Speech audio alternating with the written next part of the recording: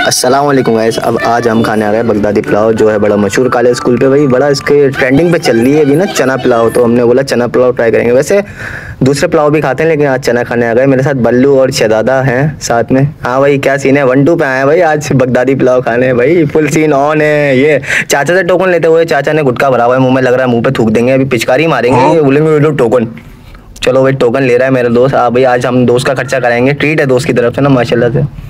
नमाज़ पढ़ के पहुँच गए थे भाई, ये देखो, वैसे चना पुलाव उनका होता है एक सौ नौ, पचास रुपये पाव है भाई, अगर तुम चाहो तो पार्सल ले लो, या घर ले जाओ, कहीं भी दिल करे खा लो।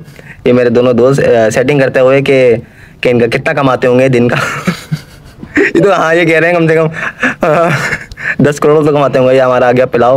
ओ हो हो भाई, चना पुलाव भाई, लोग का खाते कम है, लेकिन होता वी आई पी है। ये देखो, ये किचन का सेटअप है, यहाँ पे लाइव बन रही है लाइव उतर रही है भाई।